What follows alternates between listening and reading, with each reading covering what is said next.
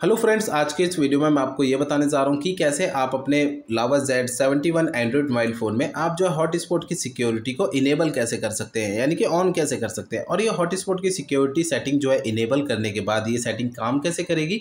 आज की इस वीडियो में मैं आपको डिटेल में बताने वाला हूँ। तो चलिए यहाँ पर जो है वीडियो को स्टार्ट कर लेते हैं। सबसे पहले तो आपको अपने मोबाइल फ़ोन में सेटिंग पेज ओपन करना है, ठीक है?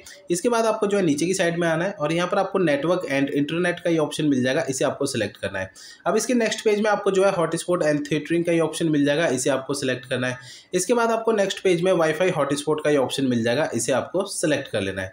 अब इसके नेक्स्ट पेज में आपको वाईफाई हॉटस्पॉट के इस पेज में आपको सिक्योरिटी का ये ऑप्शन मिल जाएगा, ठीक है? सिक्योरिटी के ऑप्शन पर आपको इसे सिलेक्ट करना है।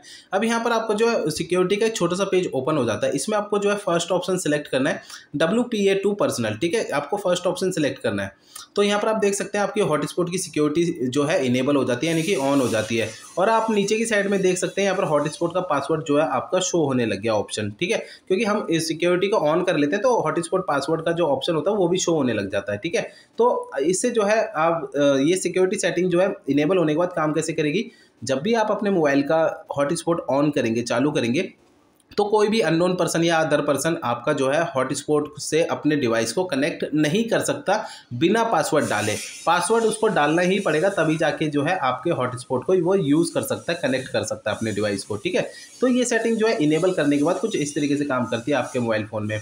अब मैं आपको जो है सेटिंग को ढूँढने का एक शॉर्टकट तरीका बता देता हूँ, ठीक है? तो इसके लिए आपको करना क्या है? सेटिंग पेज ओपन करना है और सबसे ऊपर आपको ये सर्च सेटिंग का ऑप्शन दिया हुआ है, इसे सेलेक्ट करना है, ठीक है? अब यहाँ पर आपको सर्च बार में टाइप करना है हॉटस्पॉट यहाँ पर जो है आपको टाइप करना है हॉटस्पॉट तो नीचे की साइड आपको एक ऑप्शन नज़र आएगा वाईफाई हॉटस्पॉट का।